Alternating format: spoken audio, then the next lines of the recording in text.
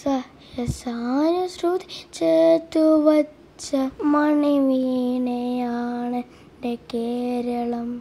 കേരള സംസ്ഥാനം നവംബർ ഒന്ന് ആയിരത്തി തൊള്ളായിരത്തി അമ്പത്തി ആറിൽ രൂപീകൃതമായതിന്റെ ഓർമ്മയ്ക്കായാണ് നമ്മൾ കേരളപ്പിറവി ആഘോഷിക്കുന്നത്. നമ്മൾ സംസ്ഥാന മൃഗം ആനയും പക്ഷി മലമുഴക്കി വേഴാമ്പൽ വൃക്ഷം തെങ്ങും ഫലം ചക്കയും ഓവ് കണിക്കൊന്നയും മത്സ്യം കരിമീൻ പാനീയം ഇളനീർ മലകളും പുഴകളും കേരവൃക്ഷങ്ങളും നിറഞ്ഞ മനോഹരമായ നമ്മൾ കേരളത്തിന് ഇന്ന് അറുപത്തിനാല് വയസ്സ്.